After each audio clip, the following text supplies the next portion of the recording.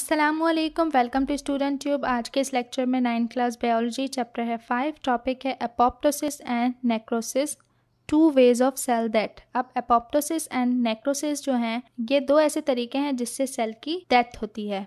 Cell in an organism depends upon various extra cellular signals for its regulated and controlled activities. It means all the activities, even the death of cells, is programmed. अब जानदारों में जो cell हैं, उनकी जो कारकर्दगी है, उनकी जो एक्टिविटीज़ हैं, उनका उनका जो इन्हसार है, वो बहुत से बैरूनी सिग्नल्स पे होते हैं, यानी कि एक्स्ट्रा सेलुलर सिग्नल्स पे होता है इसका मतलब ये हुआ कि जो सेल है, उसकी हर कारकर्दगी, यानी कि उसका हर फ़ंक्शन उसकी हर activity even the death of cell यानी कि यहाँ तक कि जो सेल की जो डेथ है, वो भी एक प्रोग्राम्ड होती है, यानी कि हर सब कुछ जो है वो एक प्रोग्राम होता है, उसी के मुताबिक तमाम चीज़ें होती हैं। अब इस सेल डेथ बेनिफिशियल तो क्या एक सेल का जो मरना है वो फ़ायदेमंद होता है?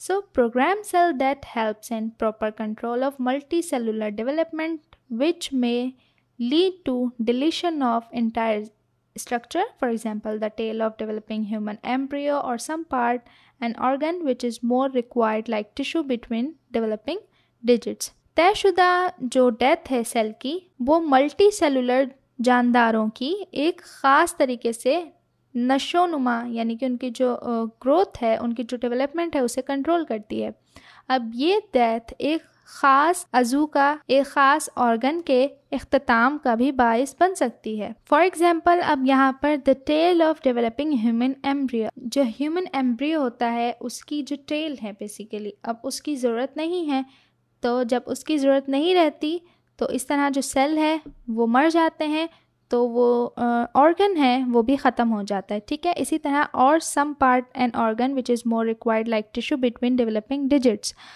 अब जैसे इंसानों की उंगलियों के दरमियान जो झिल्ली बनाने वाले टिश्यू हैं, अब जब उनकी भी ज़रूरत नहीं रहती तो उनके भी जो सेल है, वो फिर मर जाते हैं। तो इस तरह से जो सेल का जो मरना है, वो भी फ़ायदेमंद होता है। तो हमारे स्किन की जो आउटर लेयर है, उसके भी जो सेल है, वो मरते हैं, ठीक है? और फिर उसके बाद क्या होता है? न्यू सेल बनते हैं और फिर हमारी स्किन रीजनरेट होती है, ठीक है?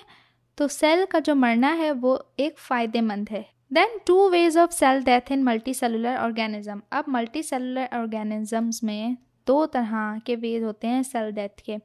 एक होता है अपॉप्टसिस और self destruction autophagy programmed change which lead to sequence of physiological changes in cell by which cell commit suicide collectively call apoptosis अब अपॉप्टसिस इसमें क्या होता है कि जो प्रोग्राम्ड के तहत जो भी, जो सेल की होने वाली तब्दीलियाँ होती हैं या फिर जो भी, जो सीक्वेंस ऑफ़ फिज़ोलॉजिकल चेंजेस होती हैं, उनमें जब चेंजेस आती हैं तो जो खलिया जो है सेल जो है, वो सुसाइड करने पर मजबूर हो जाता है और सेल की मौत वाक़ हो जाती है और इस तरह की जो सेल की डेथ है, उसे कहा जाता है एपोप्टोसिस देन है necrosis this type of cell death which is cause by external factor that is infection, toxin and tumor that is accidental cell health.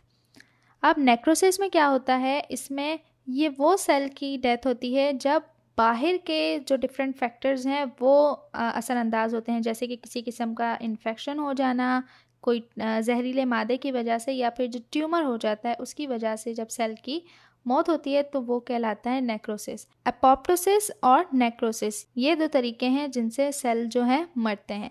तो आई होप कि लेक्चर आपको अच्छे समझ आ गया होगा। वीडियो हेल्पफुल हो तो आपने से करना है लाइक शेयर चैनल पे न्यू है तो सब्सक्राइब किए बगैर मत जाइएगा। मिलते हैं नेक्स्ट वीडियो में, तब तक के लिए अल्लाह हाफिज़।